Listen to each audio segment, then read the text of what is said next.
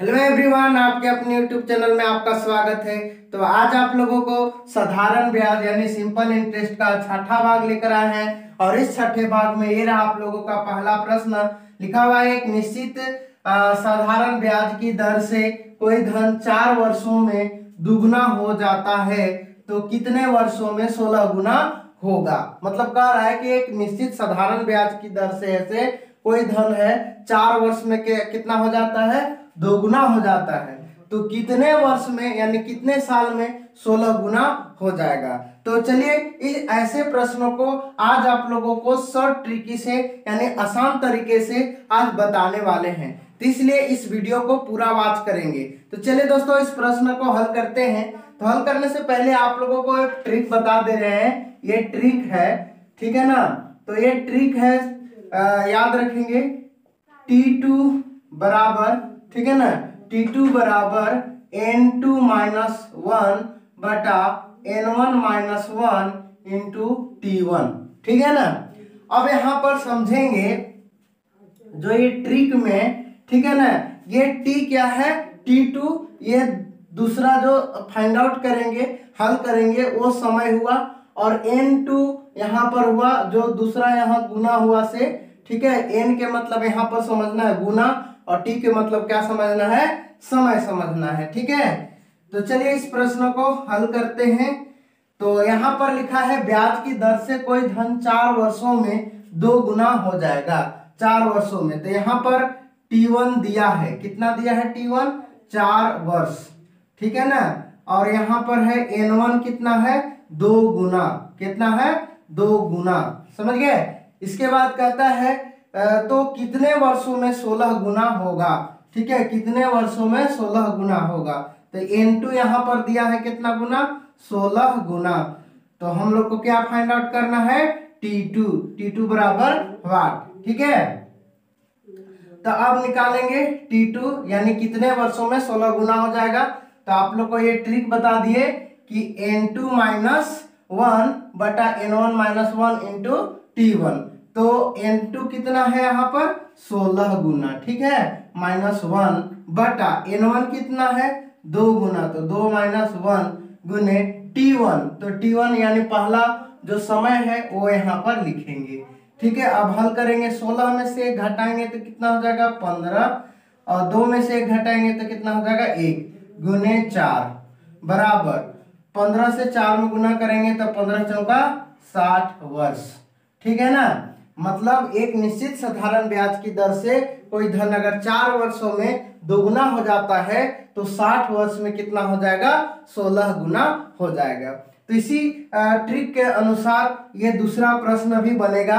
तो चलिए दूसरे प्रश्न को भी आप लोग को सोल्यूशन बताते हैं। तो लिखा हुआ है यहाँ पर दूसरा प्रश्न, कोई धन सात वर्षों में दुगना हो जाता है तो वही धन कितने वर्षों में चार गुना हो जाएगा? तो इस ट्रिकी के अनुसार आप क्या कर सकते हैं? इस प्रश्नों को भी सोल्यूशन कर सकते हैं। तो चलिए, इस प्रश्नों को भी आप लोग को सोल्यूशन बताते हैं। तो यहाँ पर हम लोग को क्या फाइंड आउट करना है? टी टू यानी समय ही ज्ञात करना है कि कितने साल में है से चार गुना हो जाएगा। ठीक है ना? तो एन टू कितना है यहाँ पर? लास्ट वाला जानना है। तो यहाँ पर एन टू है चार गुना तो चार माइनस वन करेंगे। और एन वन कितना है यहाँ पर? दो गुना तो दो माइनस एक, इस तरह से घटा लेंगे। ठीक है? गुने। टी वन यानी जो पहला शुरुआत समय होता है, उसको यहाँ पर क्या करते हैं? गुना करते हैं। ठीक है ना? बाद वाला जो होता है, वो गुना ऊपर में होता है, और जो शुरुआत का जो गुना होता है, वो नीचे एक घटता है, और ऊपर में भी एक घटता है। ठीक है? अब इसको घटाएँगे, चार में से एक घटाएँगे तो कितना हो जाएगा? तीन। दो में से एक घटाएँगे, एक गुने सात। तो तीन सत्य कितना हो जाएगा? इक्कीस वर्ष। ठीक है ना? सात वर्ष में दुगना हो जाता है तो इक्कीस वर्ष में कितना हो जाएगा? चार गुना हो जाएगा। तो इसी प्रकार अगला प्रश्न है, तीसरा लिखा हुआ है, कोई धन बारह वर्ष में अपने से दुगना हो जाता है तो कितने समय में वही धन अपने से तिगुना हो जाएगा? ठीक है? कितना समय से में है से वो अपना धन तिगुना हो जाएगा। तो चलिए अगले जो प्रश्न आप लोगों को, दूसरा या पहला प्रश्न को सोल्यूशन बताए तो वही प्रश्न की जैसा ये भी प्रश्न का मतलब सोल्यूशन होगा। तो चलिए, इस प्रश्न को भी सोल्यूशन बताते हैं। ठीक है? तो हम लोग को समय निकालना है यहाँ पर। तो समय निकालने के लिए क्या होता है? इन टू माइनस वन बटा N one minus one into T one ठीक है? तो उस उस ट्रिक के द्वारा इस प्रश्न को हल करते हैं। तो एन टू तो यहाँ पर एन टू ये होगा लास्ट वाला तो उसमें एक घटा देना है। तो तीन में से एक घटाएँगे, और जो फ़र्स्ट गुना है, ठीक है ना, यहाँ पर लिखा हुआ है दो गुना हो जाता है तो दो में एक घटा देना है। गुने टी वन तो टी वन यहाँ पर कितना वर्ष है? बारह वर्ष है, ठीक है ना? तो इस तीन में से एक घटाएँगे तो कितना हो जाएगा? दो दो में से घटाएँगे, एक गुने बारह। तो गुना करेंगे बारह गुना चौबीस वर्ष। ठीक है? यानी बारह वर्ष में दुगुना हो जाता है तो चौबीस वर्ष में कितना हो जाएगा? तिगुना हो जाएगा। इसी प्रकार अगला प्रश्न है, चौथा। लिखा हुआ है, यदि कोई धन सोलह वर्ष में दोगुना हो जाता है तो वह आठ वर्ष में कितना गुना हो जाएगा? मतलब आठ वर्ष में कितना गुना हो जाएगा? अब उल्टा हम लोगों को ये एन टू फाइंड आउट करना है, ठीक है ना?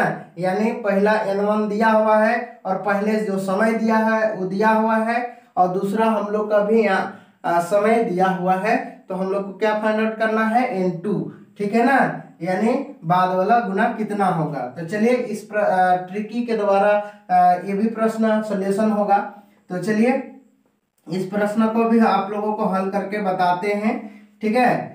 तो ये क्या हो गया? आ, बाद वाला जो समय है तो वहाँ यहाँ पर लिखेंगे आठ बराबर एन टू माइनस वन तो एन टू हम लोग को क्या करना है? फाइंड आउट करना है तो एन टू लिख देंगे माइनस वन करेंगे।